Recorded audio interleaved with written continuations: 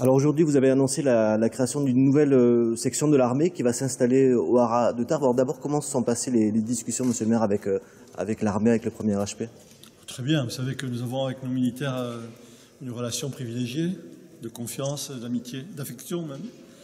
le projet des brigades militaires équestres est un projet sur lequel nous avions engagé des discussions depuis plus de dix ans déjà. Partir du moment où nous allons devenir propriétaires du Hara, nous avons souhaité relancer euh, cette euh, proposition. Et j'ai eu la chance d'avoir un interlocuteur euh, qui a tout de suite percuté.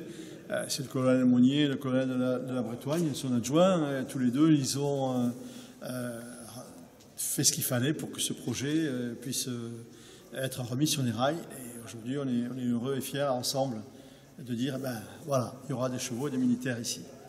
colonel, à partir du 1er septembre, c'est euh, l'installation des hussards euh, dans ce lieu emblématique. Ouais, oui, c'est euh, une opportunité exceptionnelle, extraordinaire que nous a offert la mairie. Là, nous, nous proposons de, participer au projet de, reprise des haras. Donc nous, le, régiment ne bénéficiait pas d'une section équestre, alors que la plupart des régiments de cavalerie de l'armée de terre bénéficient de ces sections équestres.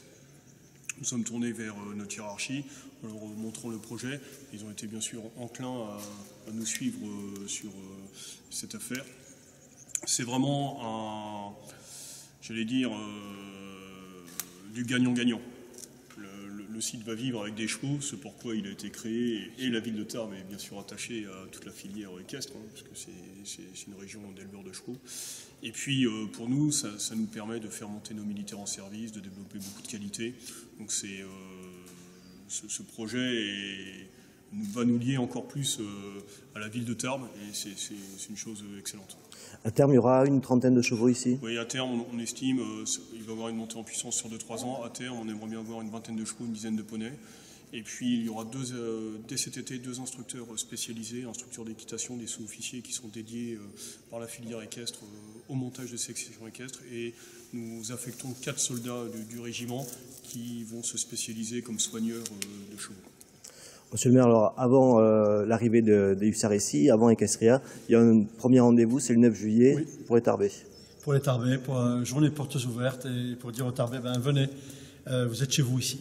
Vous êtes chez vous ici. Vous pouvez venir voir le site euh, tel qu'il est, parce que quand euh, ils viennent pendant Kessria avec toutes les animations et toutes les installations, on n'a pas euh, une image, une idée précise de, ce que représente ce site sur le plan patrimonial.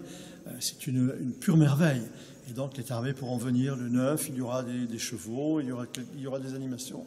Et puis ils pourront pique-niquer s'ils veulent ici. Ça va être, s'il fait beau, ça va être une super journée.